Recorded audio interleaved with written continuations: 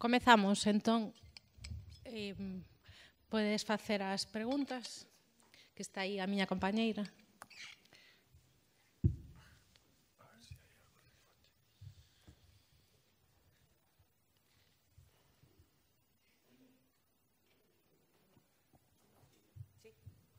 Hola, bons días. Eh, enhoraboa por, enhoraboa pola conferencia, moi interesante. Eh, mm, estaba mm, lendo algo máis sobre Benjamin e mm, penso que mm, el pode o pensamento del, a idea que tiña el, podémola actualizar ahora mesmo un poquinho eh, co que está pasando, digamos, que en Europa e en algúns outros sitios sobre a, o pensamento de, de trasladarnos que a socialdemocracia é como se estuvese un pouquiño en declive frente a outras formas de pensamento actual. Podemos pensar en Europa ou en España o que pasa aquí coa política. E el que pensaba mm, frente ao pesimismo, a redención, un mesianismo, pero a, non sei se, mm, se eu entendo ben, a través dos políticos eh, que eles podan eh, modificar o que parece como unha unha outra, outra volta á historia, non que se repite sempre. El gustou da, condo, da acordo co, co tempo. El, o, o tempo existe e, e temos que ter unha visión de atrás para ahora e que nos poida servir para, para, para ver o que pode ocorrer mañán. Non sei se me explico un pouquiño ese pesimismo que el afronta, pois eu que estou tamén vendo agora mesmo vexo o seu pensamento moi actualizado tamén. Sí. Eh, esco... Sí, porque aquí non, non se ten nunca certeza de que funcione a tecnoloxía. Eh, non, non, non a través dos políticos. Eh, de feito, a ver, eh, Eu acepto as suxerencias da lectura de Lowy de que un texto que non se esgota no momento histórico no que está escrito, pero sí que ten un contexto moi claro.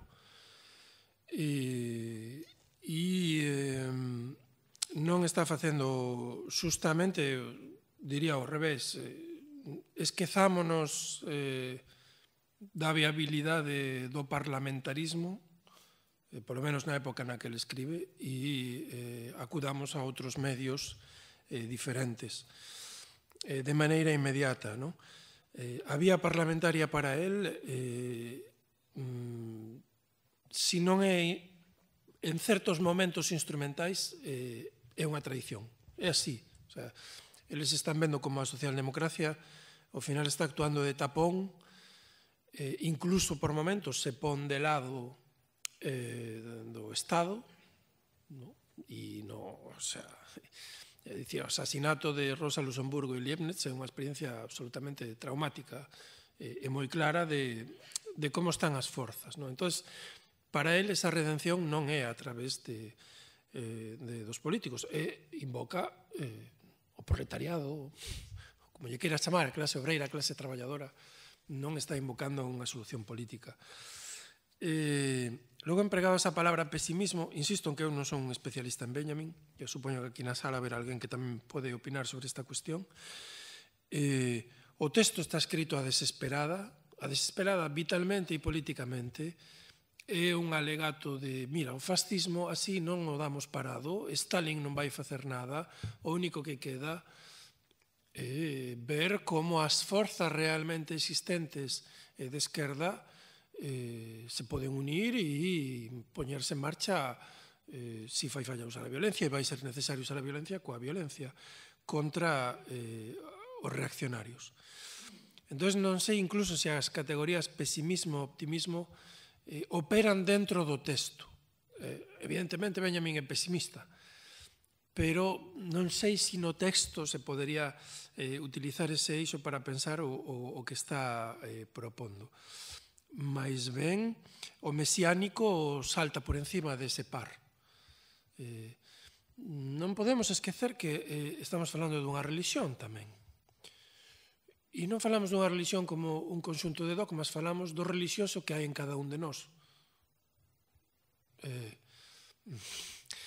eh, isto é, é outra situación diferente. Eh, o mesiánico non é mm, eh, pues, nin un culto, nin unha iglesia, se trata de so humano que resoa cando alguén o bombardean. Eh, entón, aquí hai, hai, hai algo desa espiritualidade eh, que se invoca ¿no? como parte da condición humana. Eh, pesimismo, optimismo, no, sino eh, o que toca facer, sería a expresión, non sei se si pesimismo, optimismo, o que toca facer neste momento é eh, eh, armarse para pelexar contra isto, unha vez que aquel que pragmáticamente nos podía servir, que era Stalin, eh, alguén que xa estaba absolutamente liquidado para esta esquerda desde os procesos de Moscú, a persecución á clase intelectual, as deportacións, todo eso se sabía e se comentaba, ¿no? Como podes seguir apoyando Solen dille, pero tú estás tolo, como estás falando nestes termos, mira o que están facendo. Non ten nada que ver co que ti, por aquilo polo que ti pelexas, no? E el di, pero bueno, quizáis pragmáticamente se poida empregar a este señor para parar o fascismo e a partir de aí ver ver outra, outra, outra maneira de funcionar. Por exemplo, na obra de arte a época da reproductibilidade técnica sí que hai un certo optimismo. Incluso di, o cine será a ferramenta revolucionaria de ilustración que poderá contrarrestar eh, a unha industria cultural de masas nacente e fomentar outro tipo de cultura. Aí hai un certo optimismo aquí, isto quedan máis no limbo, non? Eu que che podo dicir, non, non, non teño as claves sobre sobre sobre Benjamin. É unha invitación a eh, sentirse devedores non kantianamente, senón mesiánicamente do pasado, dos mortos, das víctimas, dos silenciados, non? E pensar que eh, non hai salvación posible se non é redimindo o pasado. Non é un luxo, non é un deber no sentido de algo que está aí como unha lei, senón é a única vía, eh, pensa el. Non, non sei se che respondín sempre colateralmente. Sí, claro. A mí tamén. Eh. Buenas, gracias pola charla tan amplia e diversa. E enlazando, aproveito, enlazando con isto último da reproductibilidade mecánica da obra de arte, aí eh, Benjamin nos indica que a obra queda como que, eh, sin esencia, non sin aura. Entonces, como ti tuveches a capacidade de relacionar tantísimos temas, de adiante para atrás e e da transparente. Non sei se pois, un piropo ou unha crítica encuberta. Sí, sí, pero... no, estou asombrada e me encanta. Entón, quería enlazar co final da túa charla sobre o mundo este em, da internet, da digitalización, si esa reproductibilidade que nosotros eh, atopamos nas redes no, a, nunha agoridade común, donde o individuo eh, eh, por un lado, estatificado, cosificado a través da unha reproducción mecánica da súa propia imaxen, donde em, em, si enlazamos un pouco coas teorías de Biochunhal, vemos que um, o amo e o esclavo están unificados, e como ves tú um, a posibilidade de um, bueno, de autentificación acción de recuperación dunha identidade a través, como ti falabas, em, hasta da reflexión si, psicoanalítica lacaniana do significado como constitutivo dunha esencia. Si o discurso común, agora máis común que, bueno, que nunca non, moi común e sobre todo moi presencializado en unha multiplicidade de discursos que confunden, que non sabemos moi ben eh, e donde situarnos, en que lugar colocarías ti esa fórmula donde eh, a identificación coas patoloxías eh, literalizadas a través dunha semántica nos permiten eh, alonxarnos e, e provocar unha autenticidade, unha identidade propia e que nos permita por lo menos unha singularidade. Hmm. Gracias. Vou comezar amistosamente devolvéndoche a crítica de ir para diante para atrás. eh, eh, sí, eh, Lacan distingue tres registros, eh, fala de registros imaginario, eh, simbólico e real. Eh, non vamos a meternos agora neste berenxenal, pero poderíamos dicir que o imaginario é a superficie. Eh, o simbólico é pues, o inconsciente como unha linguaxe, estructurado como unha linguaxe, e o real é aquilo realmente singular de cada un de nós, aquela experiencia que Freud chamaba trauma, aquilo imposible no sentido de algo que é dificultoso para cada suxeito, algo que ten que lidiar con e é dificultoso. Entón estamos ante unha época que se queda no imaginario. O imaginario eh, non quere dicir ficticio, sino na imaxe. Se queda na imaxe. Pretende resolver solo eh, con operacións sobre a imaxe. E claro, esa tiranía, esa dependencia do recoñecemento do outro nas redes no, é terrible. O like, dislike, provoca suicidios. Provoca suicidios. A cada pouco vemos, eh, es, un desgracia, precisamente porque non hai outros registros cos que sosterse psíquicamente. Eh, máis que unha reproducción mecánica da propia imaxe, todas as imaxes son fragmentarias. Todos nós a ese nivel do que Freud chamaba o eu, todos os seus son débiles, son fráxiles, son lábiles, son manipulables, son circunstanciais, eh, obedecen a si eres do Madrid, do Barça, si... Aí hai un tipo de eleccións que son moi moi de superficie. O problema é que se pretende tapar toda a psique solo con ese registro, solo con operacións nese registro.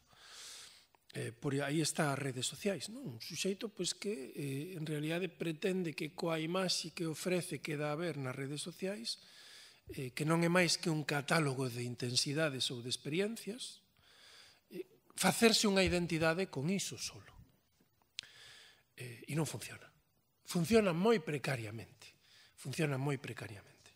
De feito, poderíamos estendernos en eh, como o traballo nunha psicose ten que ver con construir algo dese estilo sólido, pero, pero igual, o traballo clínico me refiro.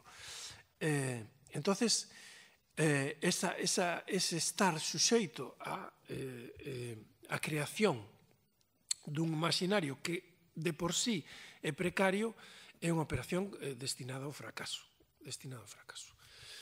Eh, y entonces, si solo pensamos que somos un catálogo de experiencias para dar a ver, lo que me gusta, donde viaxo, que consumo, e o esgrimimos como identidade, eh, uf, é moi complicado sosterse na realidade ante iso, porque o primeiro encontronazo cun non recoñecemento por parte dos outros, ou cunha experiencia desagradable, ou cunha intensidade que non é recoñecida como válida, eh, a identidade inteira se fragmenta. Non sei se me explico, non? Hai, hai un, unha caída total de eso. Eh, máis que de amo e de escravo, que sucede que só hai escravo. O amo non, non sei onde está. Eh, o amo sería a, a tecnoloxía que obriga a entrar nese proceso, pero es que non hai non hai alguén que decida realmente, máis ben hai unha compulsión a ter que volver á rede social, a volver a emosarse, no? e, e, e hai moitas cosas que se derivan daqui, a perda do pudor absoluta. Escandaloso, non? A pornografía non é a pornografía que estamos habituados a pensar. A pornografía realmente son as tertulias da televisión. Bastante máis grave. Ese, ese impudor para falar de absolutamente todo, chorar en público desa maneira, recoñecer a propia división, desa... en fin, hai moito que, que pensar aí. Eh, non digo que a outra sexa algo a ensalzar. Eh, entón, eh, o tempo eh, pretende eh, ou invita a tapar todo con iso, cunha construcción precaria que ningún dos que estamos aquí xeneracionalmente probablemente estamos expostos da mesma maneira que a xente das que ven, que ven detrás. Porque mal que ben recibimos un baño eh, familiar, para ben e para mal, un baño de identidade de outro estilo que non dependía eh, da imaxe que damos a mosar, pero a día de hoxe eh, eh, parece que todo se condensa aí. E é unha operación arriscadísima. O sea, psíquicamente é unha operación arriscadísima.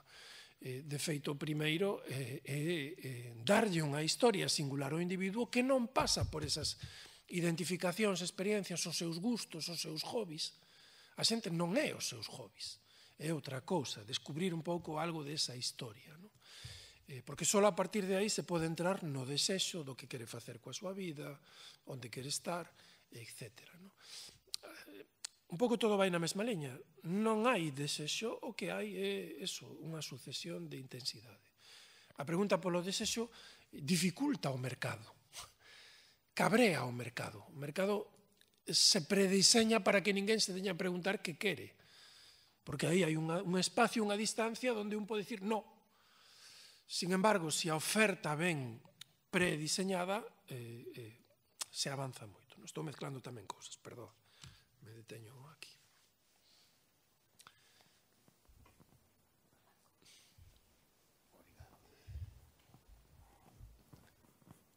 Novamente repito parabéns pola maravillosa síntesis que nos faz dun pensamento non real, sino dun pensamento eh, do filósofo Benjamin. Quería saber por que morreu Benjamin. Que pasou en Porvó aquela noite para que ele se suicidara? Segundo lugar, vouche dicir unha serie de reflexións que me que me, que me, que me incitache desde o momento da túa, da túa intervención. É curioso que en Borbou, anos despois, por aí pasara Machado e toda a cuadra de, de, de republicanos que iban a ser reprimidos por un goberno fascista francés na, na, na costa de, de Perpiñán xa non digamos cuáles son, porque hai media docena de campos. Segundo lugar, eh, hai que ter en conta tamén que en el, no contexto onde Benjamin actúa aparece o interés por que a Escola de Frankfurt convalide os seus diplomas, etc. E aí temos a, a Adorno. Adorno Citache antes, supoño que é verdade, eu oino, oino entrando na, na porta, citache a Poltilich. Sí. Eh, Poltilich é o gran eh, teólogo da, da época, eh, protestante, obviamente, e que vai a, que vai a levar enseguida a, o, o seu exército de, de intelectuais hacia, hacia, hacia América. Eh, por último, eh, todo isto faino na, na, na Escola de Frankfurt, é dicir, faino na cidade, dicindolle a, a, a, ao marido non, non te podemos atender porque o teu, a tua tesis é demasiado marxista ou non é suficientemente a, a encaixable. E por último, quería decirche que eh, todo este nivel de, de intelectuais que están aí e eh, que maravillosamente eh, escaparon polo Pirineo hacia abaixo, abaixo a donde? Pois Casablanca, é dicir, eh, Lisboa, Lisboa como porto da liberdade donde chegaría eh, Ana Aren eh, do, tres anos despois, con o manuscrito que, que tú dices, e que yo deu a Adorno en, en, en, en Nova York e que curiosamente reconstituye a Adorno recibindo ese manuscrito a memoria do, do seu maestre eh, bien, iba a decir tráxico, pero bueno entonces eh, nada máis que, que fálanos un pouquiño da morte de, de Benjamin, por favor Quen o sabe? Eh, sabemos que escribía cartas dende os anos 30 dicindo que estaba esgotado. Eh, especular sobre a persoa eh, e a responsabilidade da persoa, porque a súa situación laboral algo máis podía ter feito, non estar a expensas desta maneira. Non? Eh, certo, el tiña un proxecto intelectual, se sentía incomprendido, pero eh, o miño, eh, podes facer algunha cousa. Eh, penso que eh, políticamente eh, o de Stalin sí que o afectou, non era algo baladí, realmente tiña algunha esperanza en que de aí pudera sair unha oposición ao, ao fascismo. Penso que na escola de Frankfurt sempre teve unha posición incómoda, eh, era alguén especial, eh, Horkheimer o vía con bastante desconfianza, Adorno era máis valedor de él, Eh, e penso que a nivel personal, pois esos fracasos eh, amorosos, ese enamorarse no momento inaxeitado, non ser capaz de levar unha relación, pois pode influir, pero que máis podemos dicir? Por que exactamente en Porbou eh, tira a toalla? Ah, rumorease que tiña medo de que o devolvesen a un campo de concentración, porque a pesar de que tiña un visado para ir a Estados Unidos, eh, non tiña nacionalidade, estaba clasificado como sin nacionalidade. E o Estado franquista había eh, uns poucos eh, meses que dixera que as persoas sin nacionalidade non se lle podía autorizar o paso, supoño que de acordo con, eh, co, co, cos nazis. Entón, eh, había ese, ese temor, a pesar de todas as persoas que acompañaban en esa fuxida, finalmente, se lles autorizou a partida. Non sei, é unha pregunta eh, eh, eh difícil.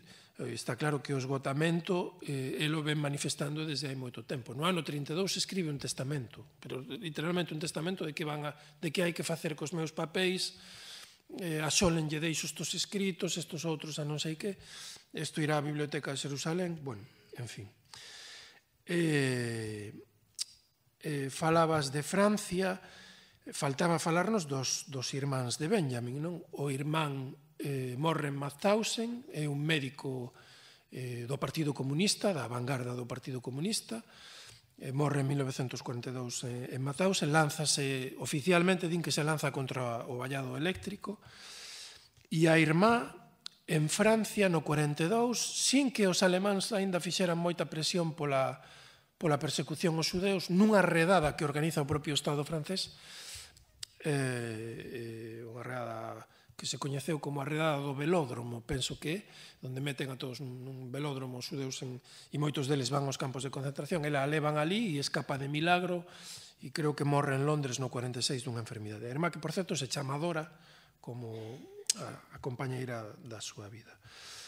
Eh, Sí, Adorno foi un pouco que tirou un pouco da súa herencia, pero sobre todo Hannah Arendt. Hannah Arendt era que tivo máis claro que había aí cousas que non se podían deixar pasar. No? Nas cartas que escribe, de decir, bueno, pero isto temos que facer algo. Publica en inglés unha especie de antoloxía dos textos de Benjamin antes de que a Escola de Frankfurt dea un paso. Horkheimer está máis escéptico, como que este señor, bueno, non sei moi ben que vai pintar aquí, como que o teñen que convencer para que lle pase algo de cartos en París.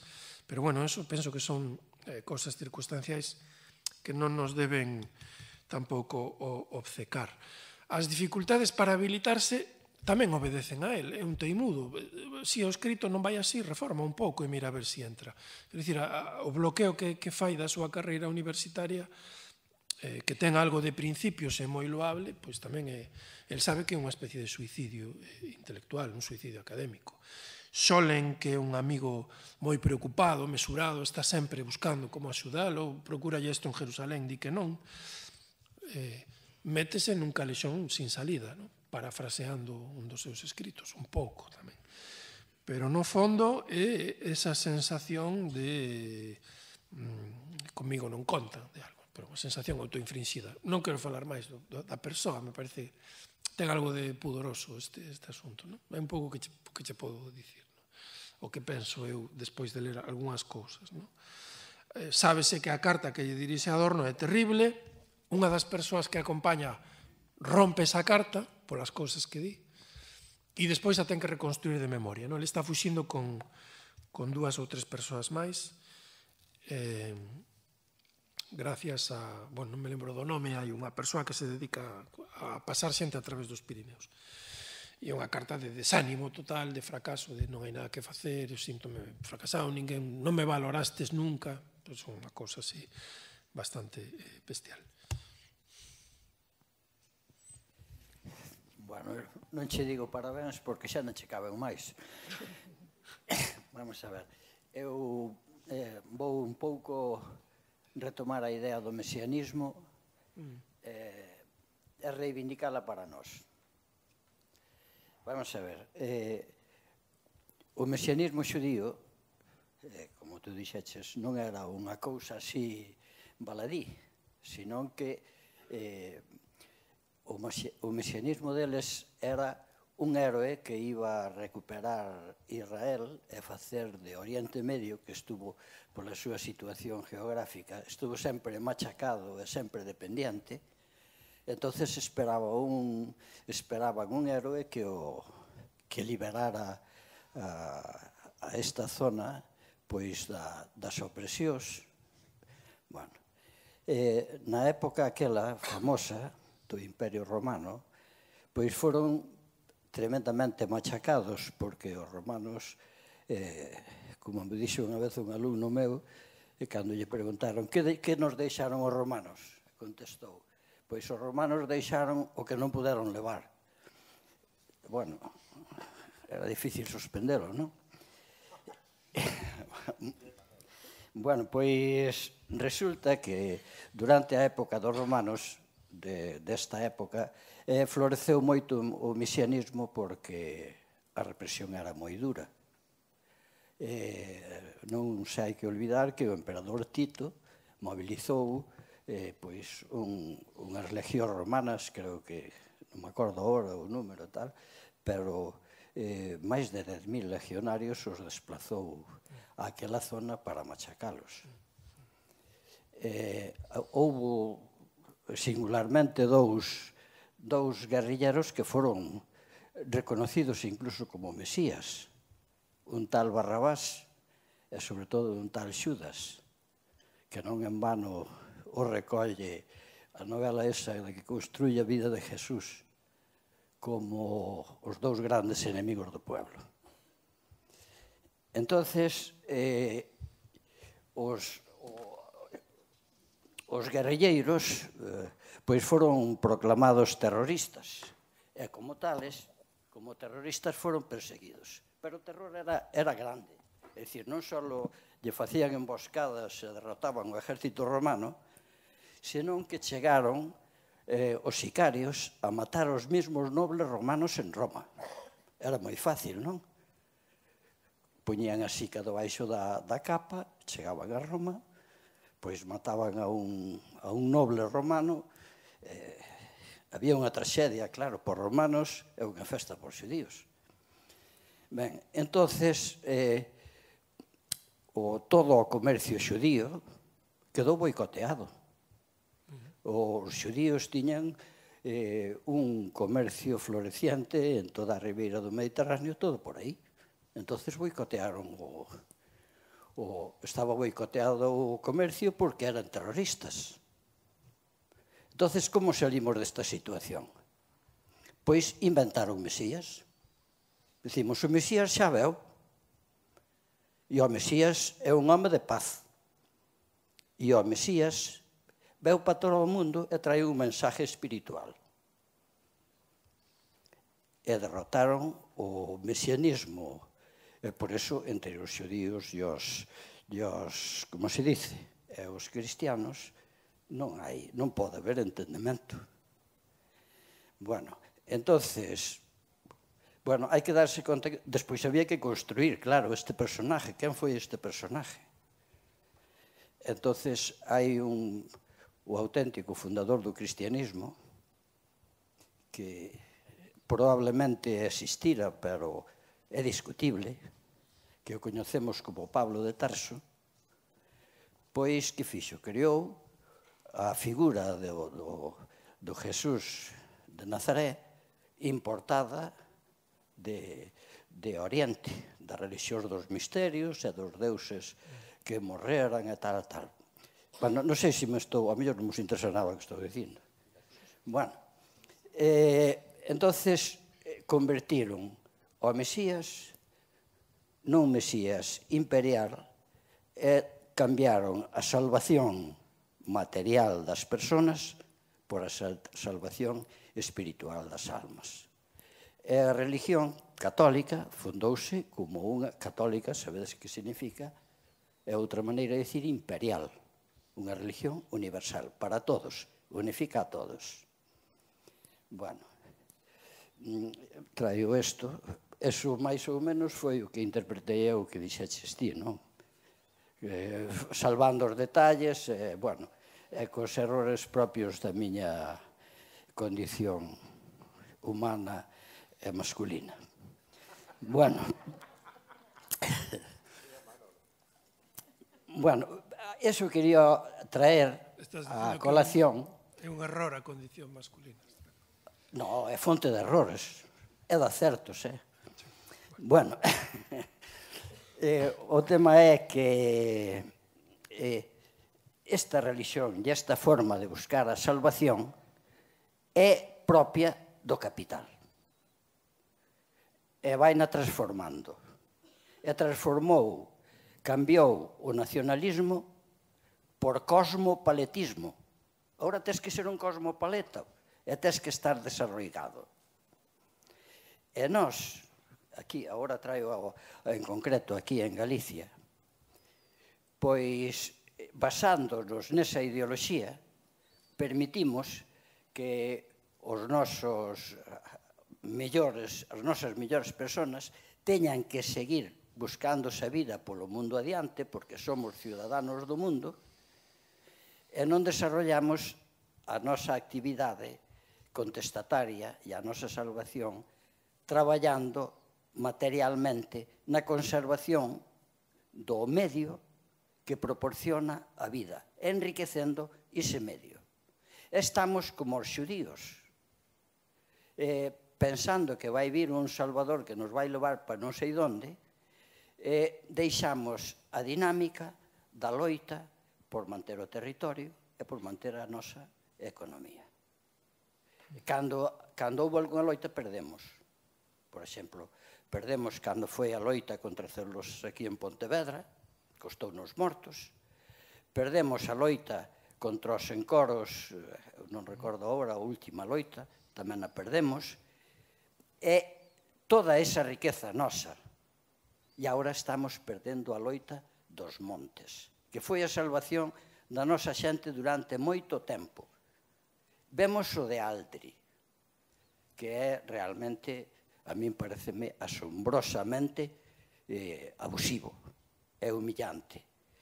Pero non vemos o que está pasando, tamén estamos vendo un pouco os abusos das eólicas pero non estamos vendo como están comendo o territorio paso a paso. Ahora, con isto, do, do mercado do CO2.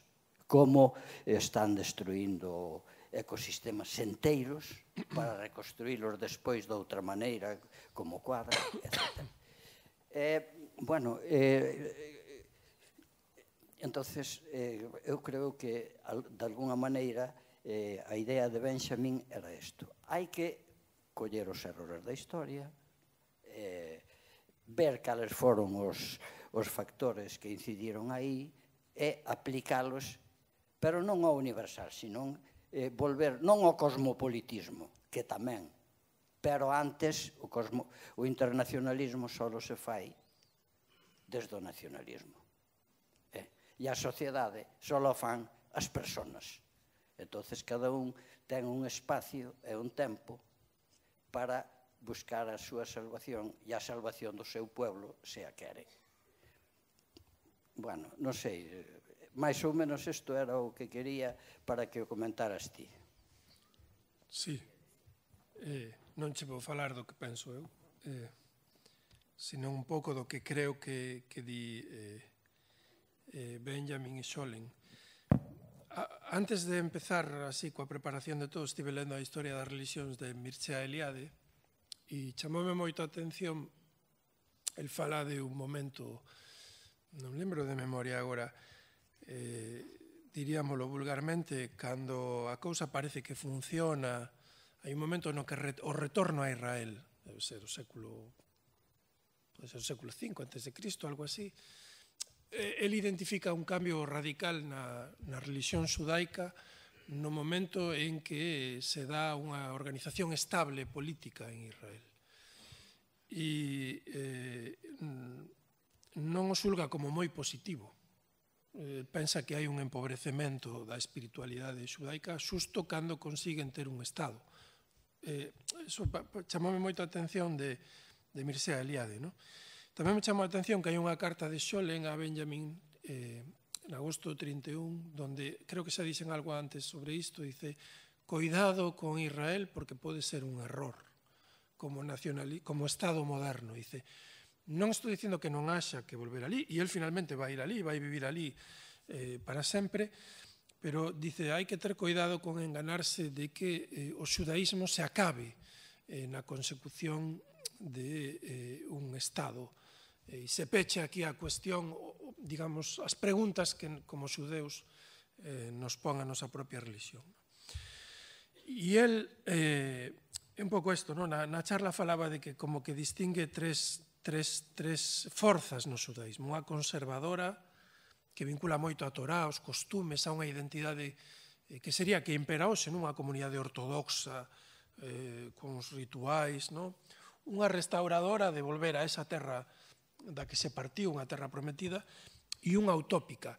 E o mesianismo para Solen ten que ver co componente utópico do xudaísmo.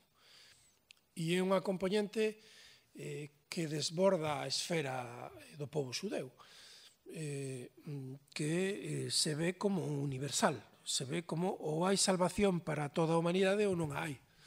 Eh, isto é, é, é que, que nesa época o ve así. ¿no? Eh, son algunhas das cosas que se me ocurrían cando, cando, estabas, cando estabas falando. Eh, hai que pensar que o cristianismo primitivo cría eh, que Apocalipse ia chegar mañá. E aquí solen é un pouco insusto, porque di que nunca houbo realmente mesianismo no cristianismo, que, que o mesianismo que houbo no cristianismo veu da religión xudea. El saberá, pero é certo que a vivencia do tempo eh, era un pouco como este Malembranche, que se dis, se acaba xa que o risco de que non suceda unha hora a outra hora, algo desta angustia que tamén ten Husserl, eh, era vivida polo cristianismo primitivo. Non, non, hai que vivir como se si isto se acabase mañá. Era unha especie de milenarismo salvaxe. Eh, e algo desto resoa incluso no texto de Benjamin, é a necesidade de pensar que non hai eh, futuro. Non negativamente, sino para incitar a que suceda algún cambio neste estilo. Non? Entón, eu diría che, o nacionalismo depende como. Hai certo tipo de nacionalismo que non encaixa nestas coordenadas que se trazaron. Eh, se é un nacionalismo eh, que se contentase eh, coa salvación dun só povo, non, non, non, non encaixa. Se é un nacionalismo que non vise a interrelación entre Altri e o que pasa eh, noutros lugares do planeta eh, non encaixaría neste esquema que el propón. Eu non sei cal é a estrategia, non estou opinando, se dixen que non ia falar do que penso eu. No? Pero sí que me chama un pouco a atención esa, esa, esa, esa viraxe que hai nos dous, en Eliade e en Solen, para dicir, por unha parte, eh, moita cousa se perde cando Israel consigue durante uns poucos anos darse unha estrutura política estable eh, e deixa de ser un pobo errante, eh, a errancia, eh, e por outro lado eh, eh, non cegarse co Estado eh, pode ser unha ferramenta interesante, está ben, pero eh, hai un algo máis, hai un día despois. Non? Chámame a atención estas, estas, estes elementos. Non? Sin entrar na discusión a se eu son ou non nacionalista e que tipo de nacionalista defendo. Non? Eh, pero sí é certo que aquí hai unha aspiración universal, é eh, eh, universal joder, non pode ser casual, eh, non sei como se relaciona isto, pero se empezades a rastrexar a cantidade de anarquistas e marxistas que veñen do xudaísmo, e eh, xa unha cousa loca. Decir, no, eh, esto se sostén sobre un, unha maneira de vivir o tempo eh, non digo que profesen a religión, pero que ten que ter aí unha arraigue eh, nunha fe, non? Unha fe eh, eh, bestial. Non? Bueno, eso así un pouco polo aire, non? para dialogar contigo. Sin pechar nada, non?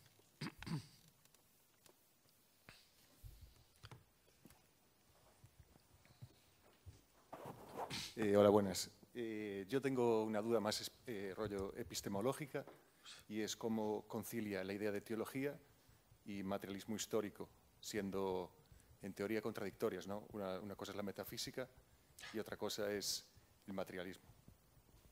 O sea, no, no lo comprendo. A primeira tese empeza así.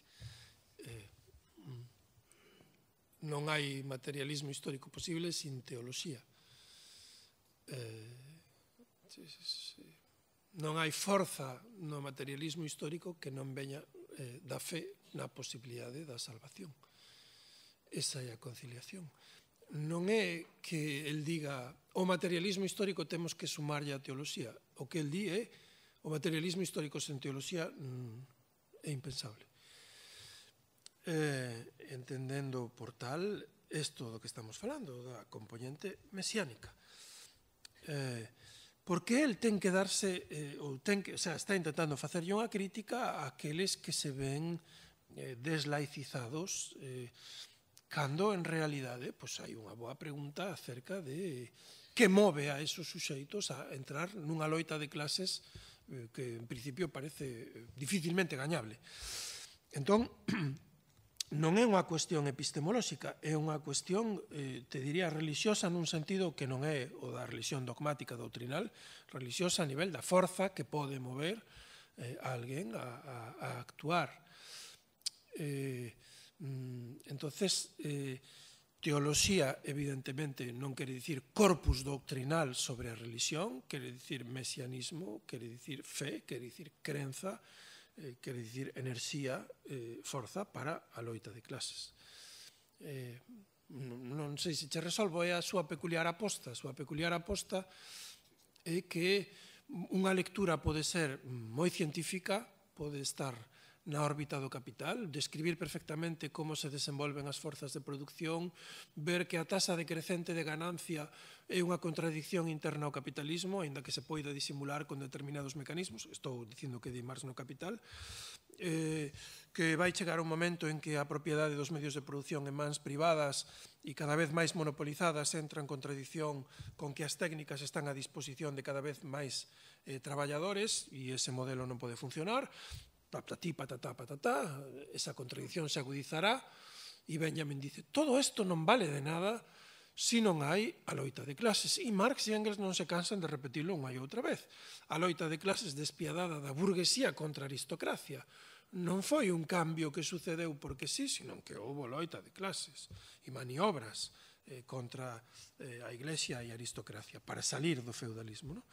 Entón, el, el veo así eh, o elemento teolóxico eh, eh, figura por aí detrás. E eu cada vez vexo máis así, sin fe non funciona eh, ese materialismo histórico. Non vexo o materialismo da análise fría e xa está, e a partir de aí, justamente eso é eh, o que el pensa que está detendo a posibilidade de, de algunha oposición decidida ao fascismo por parte da socialdemocracia e do Partido Comunista. Eh, eh, reprocharíalles ese laicismo eh, non a nivel epistemolóxico, a nivel político.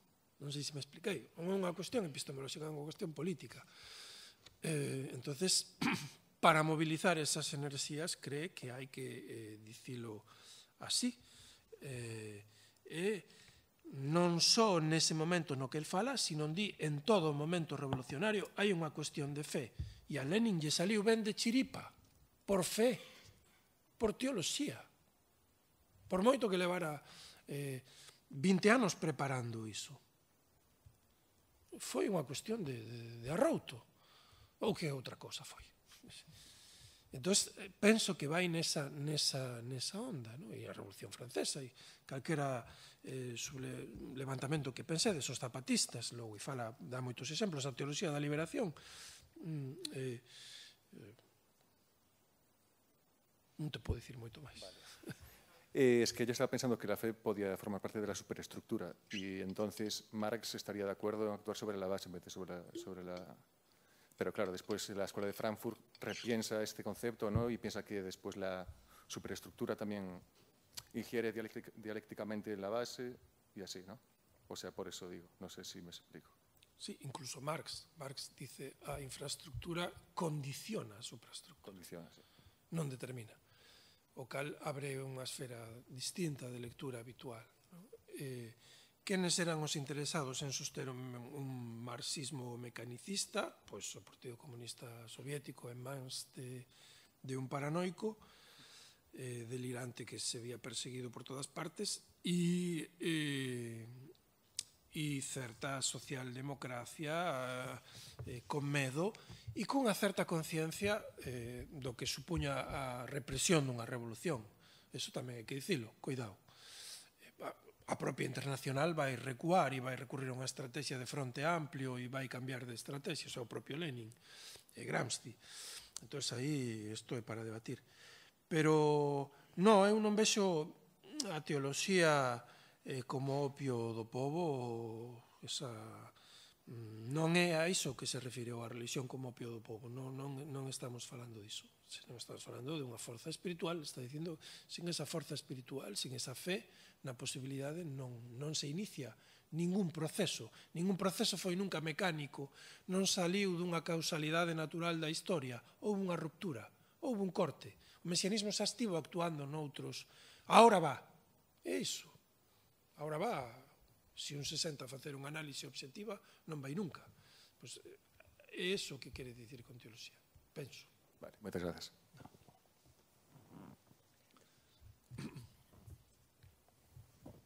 Aparte, son clase media, non, destas cousas. Hola, aquí. Eh, respecto a cuando estabas hablando del, sobre diagnóstico de TDAH, eh, dijiste una frase que me llamó la atención. Un diagnóstico tapa el nombre propio del individuo. ¿Eso sucede también en el psicoanálisis? Cuando el psicoanálisis diagnostica, también tapa el nombre propio del individuo? si un psicoanalista diagnostica, no es psicoanalista. Perdón, no te oigo. Digo que si un psicoanalista se conforma co, coa diagnose, non é un psicoanalista.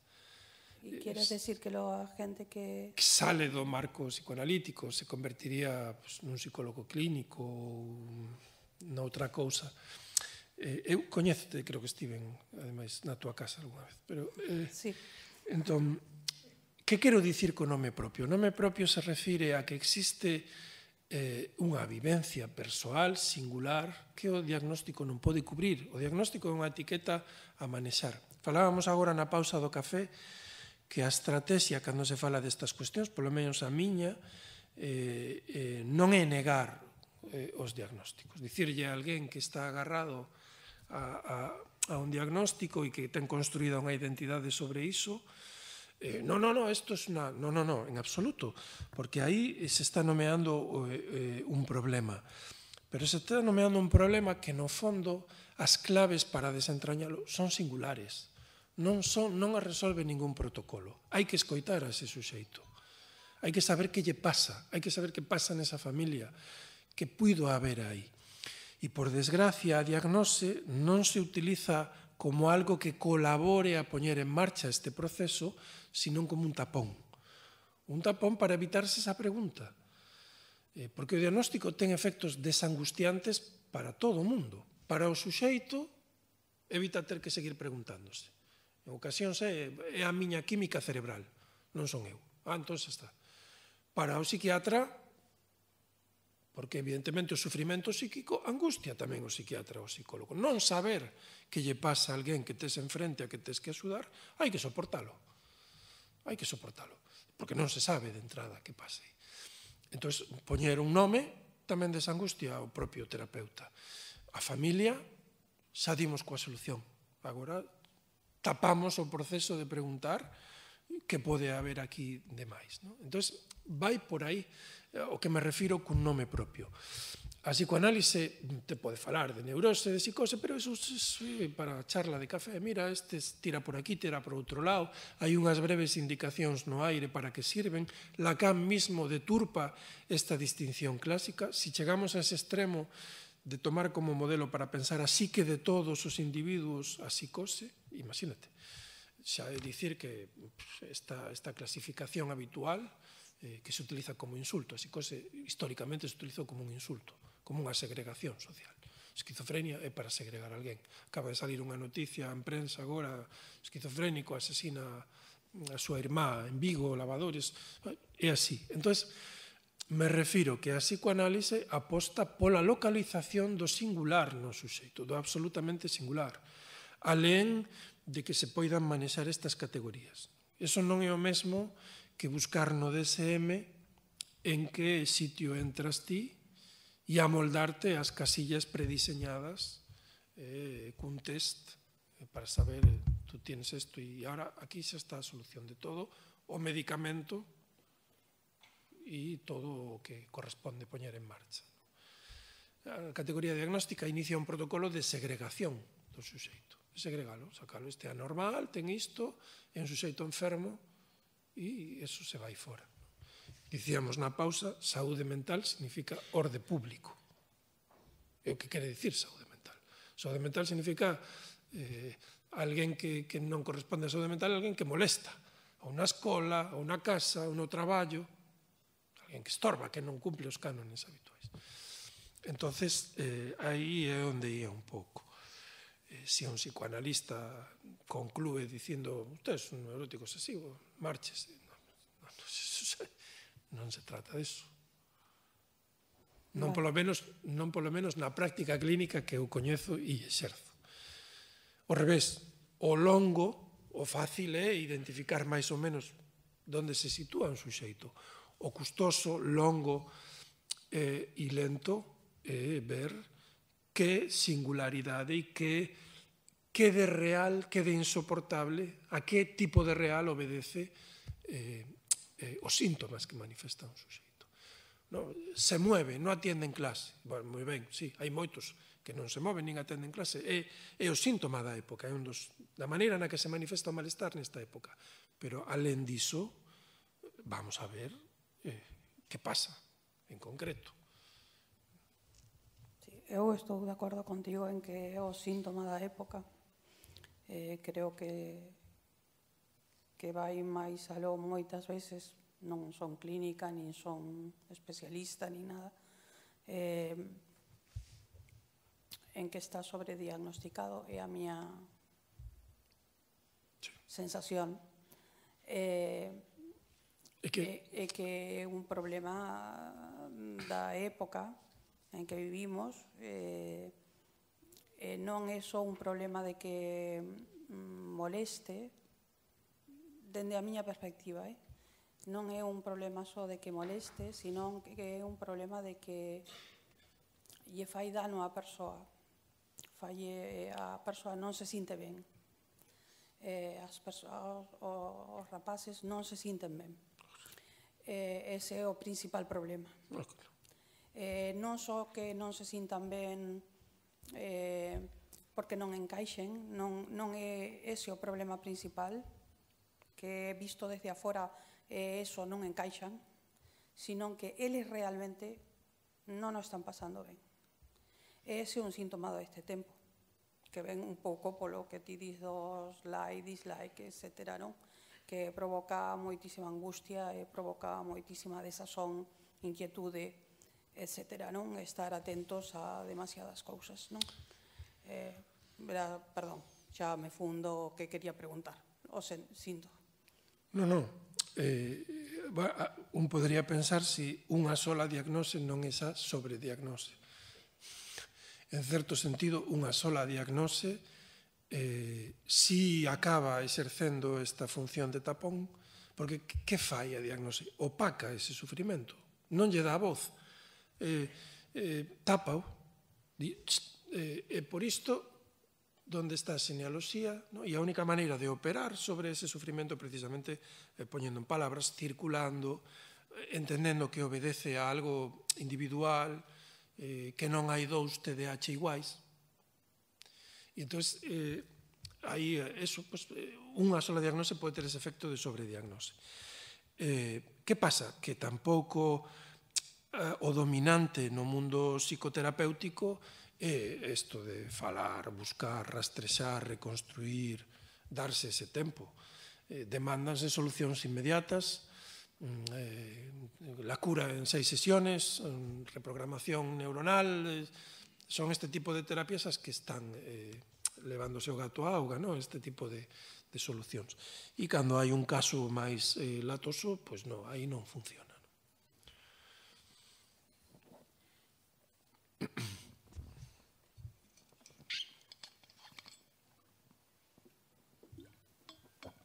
Eh, bueno, eu quería comentar tamén unha cousa así sobre os malestares psíquicos que estabas eh, que estaba comentando a compañeira e eh, tamén que ti nombraste sobre o TDAH. E ademais do malestar da época como é o TDAH que mencionabas, eu entendo tamén, bueno, eh, aclaración, eu son da rama de ciencias e tal, por eso vou facer así un pequeno análisis así. Eh, comentabas eh, solo caso do TDAH, pero entendo que, ademais da etiqueta de TDAH, temos outras etiquetas que se ven moi frecuentemente na época, como malestar directo, eh, ansiedade ou depresión que ven sendo eh, así que se ven da mm, química ou neurociencia, eh, problemas de dopamina que tamén moitas veces se relaciona coa sobreestimulación eh, eh, que bloquea todos os receptores de dopamina, eh, bueno, cosas así. Eh, non sei que perspectiva tes tamén, ademais da etiqueta TDAH, sobre ah, a outros malestares psíquicos que mm, máis que só ser un malestar tamén impide o funcionamento normal da persoa e por eso a veces os clínicos o denominan como enfermidade, aunque se sea unha etiqueta fea. E, mm, e cal é a tua opinión sobre eses outros malestares? E ademais tamén eh, sobre o curso de psicoanálise que impartes ti na UCC, eh, mm, se crees que é recomendable ou podes eh, acercar a él sen ningún coñecemento previo. Grazas. Despois falamos do curso do marketing do... Eh, teño un supereu bastante grande como para permitirme. Non? Entendín que ti defendías a hipótese da... Non sei se era unha pregunta ou defendías a hipótese de, de que a depresión se debe a unha carencia de sustancia química. Eh, a ver, non é que o defenda precisamente, pero sí que teño lido e acercome desde esa, dese lado que moitas veces eh, vese afectado que moitas veces, bueno, non sei se moitas veces, pero eh, ten que ver ás veces os estímulos e todo isto que eh, impide a correcta funcionamento hormonal en, de neurotransmisores no sistema do individuo coa enfermidade, bueno, enfermidade como malestar, que non necesariamente, pero que a veces fai esa relación e sobre todo eh, nos casos de análise neurolóxico que fan médicos e outros profesionais que se dedican a esta rama. E quería ver a aproximación dende a psicoanálisis que te aportas. A psicoanálisis sitúas en un campo que non que non é ese. Eh, eh, non sei se oposto, pero en todo caso radicalmente diferente. Non? Pero, en vez de depresión, por que non dis tristeza?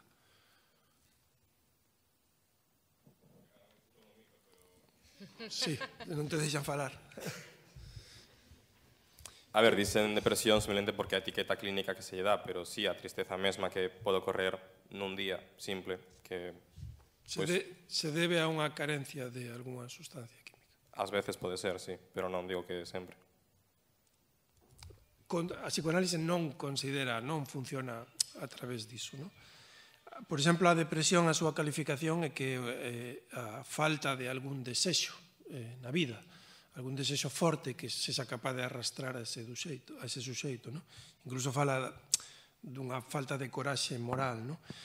Eh, no, non quería entrar nesta discusión co, coa neuroloxía, é moi complicado. Eh, a ciencia camiña por esa vía que distí, eh, a buscar os procesos químicos, incluso a xenética, no? Carracedo está buscando a xenética do autismo, da esquizofrenia, eh, eh, Pero sabes que si, si discutimos a validez das etiquetas clínicas para máis dun suxeito, tamén discutiremos que poidamos explicar eh, eh, o que lle pasa a un suxeito a partir de algo generalizable para todos.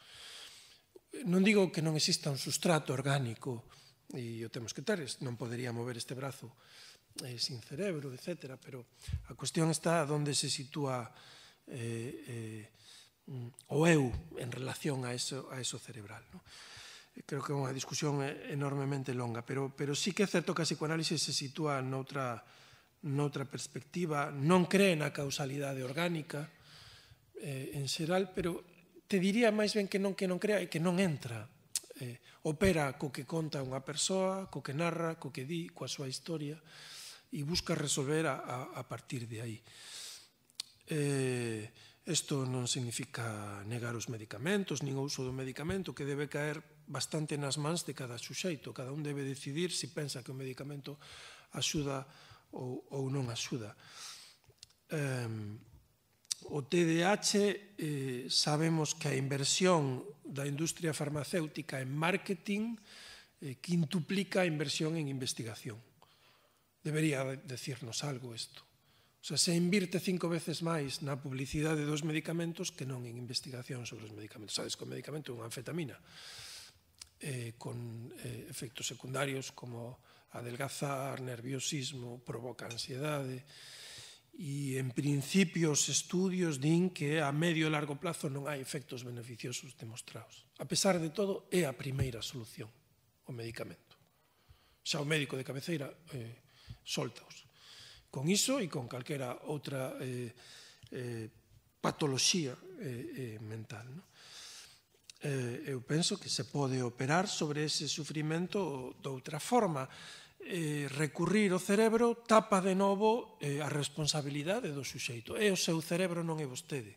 É que lle pasa algo. Non se pregunte que quere facer coa súa vida. Si está feliz facendo isto ou non. Si querería ter esta parella ou non. Como actúa. Ten ese efecto absolutamente desresponsabilizador é a química cerebral, non é o suxeito. Eh, aí a psicoanálise sí que se sitúa noutro lugar e pretende responsabilizar a cada un de nós do que nos sucede. Non esculpar tampouco, ao revés, eh, incluso facerse cargo de cousas que non se escolleron na propia historia individual que é así un puntiño un pouco épico e dramático de ter que facerse cargo de cousas que un fai. Non?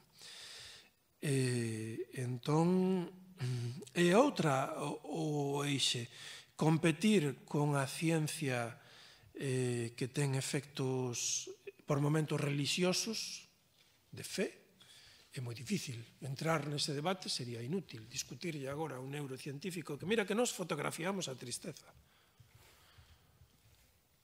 Eh, e sí. E, eh, e entón veño de separarme e non o aturo A separación provocou a baixada de dopamina, como foi eso? Foi a dopamina primeiro? Mm, eh, entón, nese terreno se opera desde, desde, desde outro lugar. Eh, recomendaría un libro que se chama Autoritarismo Científico, é dun bioquímico coruñés, donde él revisa os estudios sobre eh, os antiserotoninérgicos para tratar a depresión e chega á conclusión de que máis ou menos todo o mundo farmacolóxico sabe que, que, que, bueno, que eso é un bulo. Ten efectos de sugestión, pero en grupos placebo funciona igual. Eh, reconstruye detalladamente os estudios, separa, non é así como fago eu agora de por riba, senón que vai pé a pé. No? Eh, fíxate tamén a cantidade de cartos que move a industria farmacéutica e a presión que exerce os lobbies, quen pagaba os congresos de psiquiatría, senón Pfizer e compañía. Entón, eh, quen está detrás dos manuais de diagnóstico? Quen financia os DSMs? Non só a Asociación Americana de Psiquiatría, hai moitísimos cartos da industria privada. Entón, moitos intereses. Tú lanzas empresa que hai un medicamento para a hiperactividade e se logo non o das como sistema público de sanidade, te comen vivo eh, as familias e os pacientes. No, isto é unha cuestión eh, moi peliaguda. Bueno, non sei. Despois, se queres, falamos máis. Non? Bueno, pero entón, eh, basicamente que non só é a etiqueta TDAH na época, senón que a representación da época é un malestar xeral que o propio neoliberalismo ou hiperneoliberalismo, como dicías antes, eh, como dicirlo, e o, bueno, o finanza e a primora e, e felicita que a xente ande, o sea, bueno, que anda así non, pero Sí, por, polo mero efecto de que así tampouco se pon en cuestión o modelo de sociedade no que vivimos. Si tratas como anomalía algo que se está vendo que hai un, un trasfondo social eh, que hai que transformar, pois pues, é perfecto. Non, non, non nos vamos a preguntar ni vamos a poñer en cuestión a sociedade na que estamos. Eh, hai tempo para estar cos, cos nenos? Non. E tempo para xogar, para atendelos de verdade? Cada vez menos. Eh, Eh, que pasa entonces? Eh, hai lazos eh, eh persoais eh, aceptables? No. Entón, hai moitas preguntas que están detrás destas cuestións que se tapan con, coa diagnose. Sí que me parece que a, a hiperactividade, o movimento, toca algo eh, máis propio da época que non as grandes neuroses familiares de outras épocas históricas, incluso as clínicas do exceso alimentario, eh, e deficitario parece que están deixando lugar a unhas patoloxías que van máis eh, polo, polo movimento e a necesidade, esa, ese, esa necesidade de estar así. No? Sí que creo que é un rasgo máis, en pequenos e en maiores tamén, no? a, a inquietude. Creo que aí se podería, por eso pensaba entrar na temporalidade hipermoderna a través dese, dese fío. O agorismo, vamos. Sí, hai algo de eso. Eh, xa por último, a ver se remato. Eh, como estamos ahora falando eh, así de traer mm, en relevancia a singularidade eh, a través do psicoanálisis, eh, dirías que mm, separável esa revolución contra este modelo hiperliberalista, neoliberalista, eh, inseparável a revolución coa psicoanálise ou o proceso psicoanalítico das persoas para traer en relevancia estes malestares que temos? No. Eh, A psicoanálise non ten por que ser para todos, e cando algunha cousa nos supera ou nos desborda, se recurre a iso. Eh, non hai ningunha condición de necesidade entre levar a cabo unha psicoanálise e a revolución. Iso é algo que temos que ter claro. Eh, e viceversa tampouco. O único que pode permitir é non utilizar a política como tapón eh, de certos malestares individuais. Iso é certo hai moita xente que recurre ao colectivo como eh, para non ter que enfrontarse ás propias miserias a veces. Non todo o mundo, evidentemente, pero eso se dá. E leva a violencia pois, a outro terreno. O sea que penso que son cuestións desligadas. Hai certa iluminación da psicoanálise eh, en males sociales compartidos? Sí, pero a psicoanálise eh, non é unha política ou estilo eh, habitual, ni, nin moito menos. Está aí pois, como unha ferramenta de intento de curación ou de axuda eh, individual. Non? Eso me parece claro. Permite ler cousas sociais? Sí, por suposto. Písate a Escola de Frankfurt. Eh, unha das grandes innovacións é poñer en xogo marxismo e psicoanálise, ver eh, que carencias podía ter o nivel o marxismo a nivel da psique individual e que ferramentas se podían sacar de aí, non? Pero non é que unha dea solución definitiva que a outra non atopa, senón que hai que consugar no, ese marco. Vale, pois iso é todo, obrigado. Así xa non acaparo máis o micro.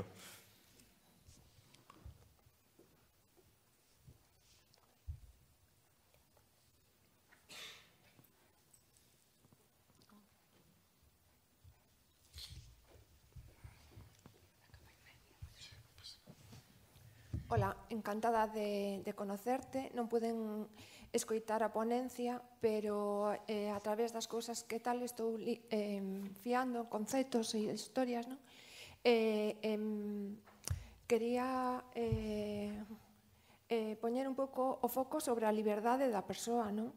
Porque, a ver, eh, todas as persoas necesitamos eh, o que mm, decías ti, creer en algo, se chame como, como se chame, ter unha expectativa, ter unha esperanza, ter un futuro, ter unha ilusión, eh, porque senón ao final, pois eso, podemos facer como Benjamín ou caer na depresión, na tristeza, en, to, en miles de cousas que, que bueno, podemos aprender aí eh, un, eh, adquirir un coñecemento, pero, pero bueno, eh, a ver, que tristeza, non? eh, entonces, eso, a liberdade de cada un sen adoctrinamentos e despois cada un pois, se poñerá as etiquetas que queiras, pois pode ser ecofeminista, pode ser ecoloxista, pode ser... O sea, ir adquirindo un montón de coñecementos que hoxe din día hai e que, e que temos acceso, pois bueno, eh, tamén grazas á inteligencia artificial e a un montón de, de, de medios que eh, que aí nada non os tiñamos. Entonces eso, eh, poñer aí un pouco a liberdade da persoa, non? Cada un pois tirará e agarrarase o que o que poida e buscará buscará o que o que vai con cada un, co seu ser, coa súa, non sei, a súa cultura, como inciden nós, eh, bueno, pois nada máis. Grazas. Sí, de, de acordo contigo a inteligencia artificial non dá ningún coñecemento, dá información. É unha pequena matiz eh, eh, bastante importante. Eh, poderá dar solucións técnicas, eh, contribuir, pero eh, de partida xa eh, bueno, a expresión inteligencia artificial uf, é moi curioso, isto non sei quen escollería este asunto, como pode ser a inteligencia artificial. Eh, sí, bueno, a, a liberdade, que sucede? Bueno, despois te fago unha receta, eso xa empezaría por aí, se si necesitas, pero sería a solución que te darían eh, non a consulta de primaria. Eh, sí, o que pasa que a veces esa liberdade se ve contrariada pola repetición do mesmo. E hai suxeitos que por circunstancias non son capaces de sair adiante.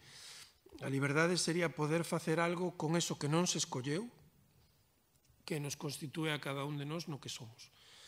Eh, aceptalo e redimilo. Aceptalo e redimilo e permitir que, que permita vivir de outra forma, non tan sufrientemente. Non? Eh, isto non é nada dramático, senón que certamente hai ocasións onde a cousa se desmadra e un non sabe da repetición da mesma miseria hasta que consigue inventar algo novo, hai un proceso de invención, pois, casi un proceso poético, en certo sentido, da, da propia historia. Non? Estou total, totalmente de acordo contigo. Eh, solo, bueno, apuntar, esta sería motivo para outra charla, eh, que o marxe de elección que temos é eh, moito menor do que algunhas correntes actuais propoñen, eh, se pode escoller xénero, eh, se pode escoller corpo, pero hai outras cosas que non se escollen, aí hai unha diferencia entre a psicoanálise e outras orientacións. Non existe esa plasticidade, é un pouco inxenuo pensar que se pode dar eh, esa plasticidade. A veces isto leva a erros graves, irreversibles, pensar que co tratamento do corpo eh, se poden resolver cuestións que están noutro lugar, Eh, e, e, e, e sí, un pouco de acordo contigo en eso que a, a liberdade consiste en ter un certo marxe de acción, pero tampouco é absoluto, no? de poder facer a, o que a un lle apetece máis ou menos. Hola, buenos días. Eh, parece que a veces hai como unha oposición entre a explicación neurocientífica ou científica e la psicoanalítica ¿no? del mismo fenómeno, pero hay algunos científicos que siguen eh, explicaciones de, digamos, el problema del TDAH muy similares a los que comentas tú. Por ejemplo, hay un libro muy interesante, Volviendo a la normalidad, de un eh, catedrático de psicofarmacología de Oviedo, eh, que defiende un poco la línea que tú estás comentando, que hay un sobrediagnóstico, que se intenta, la industria química intenta dar una solución que muchas veces no es eficaz y tal, Y de alguna manera a mí me interesa tanto lo que es el psicoanálisis como la neurociencia y creo que hay un punto en el que no son incompatibles, porque eh, estos señores defienden que un poco debido a la plasticidad cerebral hay una dialéctica entre lo que pensamos y nuestro comportamiento y, mm, digamos, los circuitos cerebrales y viceversa, ¿no?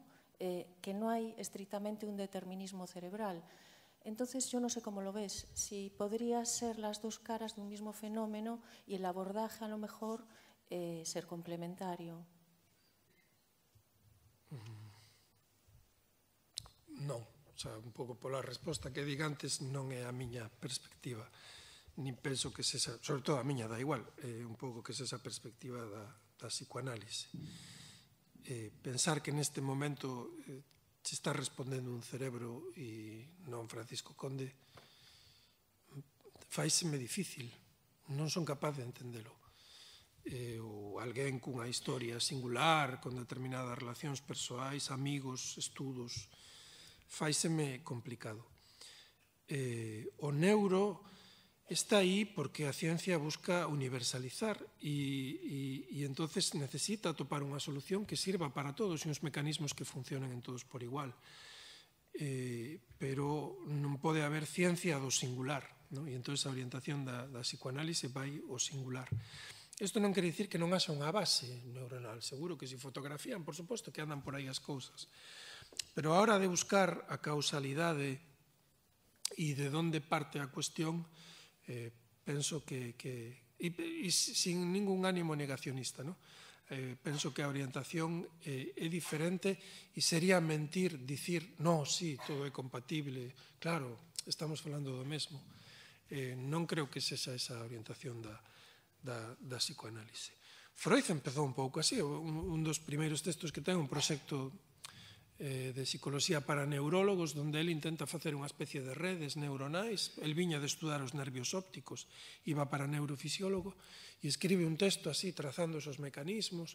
Ten a esperanza de que algún día a ciencia confirme o que el descubre eh, na, na psicoanálise, pero bueno, eu teño visto cousas como eh, o inconsciente neuronal, e, non sei como dicircho, é como si eh, mm, alguén presupoñera que resolveu o problema do dualismo cartesiano, como Damasio, por exemplo. Eh, non penso que haxa unha solución, porque se está falando de cousas que son materia e linguaxe. E non sei como eso se, se pode, se pode eh, xuntar. Non? Eh, entón, entendo que pode ser interesante ver como é o funcionamento cerebral, pero a psicoanálise non, non opera con eso, nin o ten en conta, senón que entra desde unha vía radicalmente eh, distinta. Non? Eh, eh, e aí non, non son capaz de pensar unha posible conciliación.